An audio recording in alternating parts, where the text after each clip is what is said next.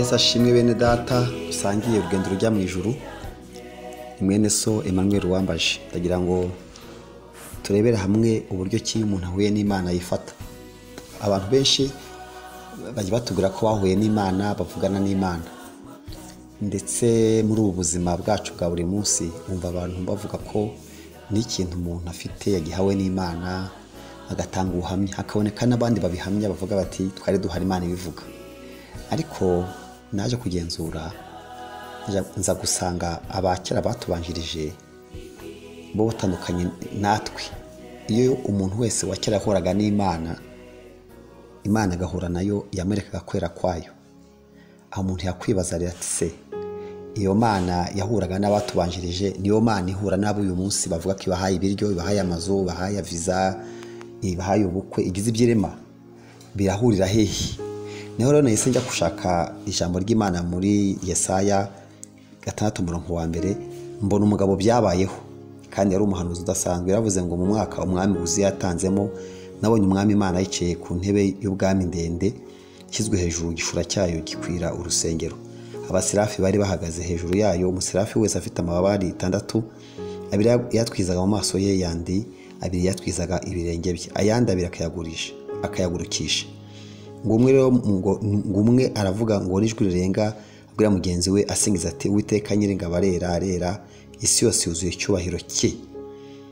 Ngo ni uko imfatiro z'indebe z'irebe ry'umuryango ziranyeganyezwa n'ijwi ry'uwavuze n'ijwi rirenga ry'inzu inzu yose yuzura umwotsi. Maze ndavuga ngo ni ishyano ndapfuye we kuko ndi umunyaminwa yanduye kandi ntuye hagati ntuye hagati bwoko bufite iminwa yanduye kandi amaso yanjye abonye umwami imana nyiringabo. Ibiro bitwereka iki? Bitwereka ukuntu iyerekwa rya kera n'iryo bidahura.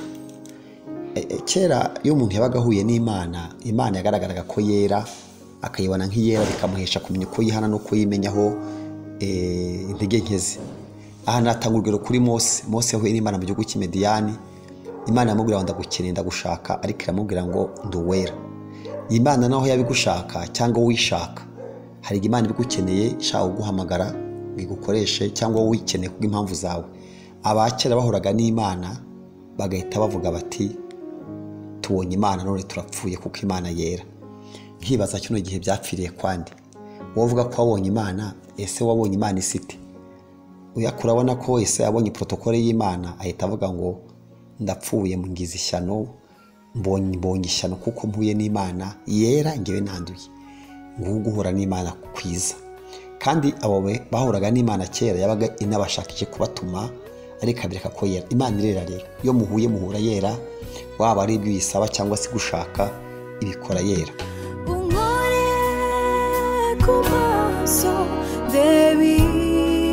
Imbere.